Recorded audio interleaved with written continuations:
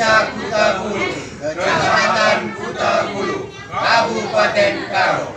Dengan ini menyatakan bahwa kami siap mendukung dan mensukseskan pemilu 2019 yang aman, damai, sejuk, dan anti hoax. NKRI harga mati, maju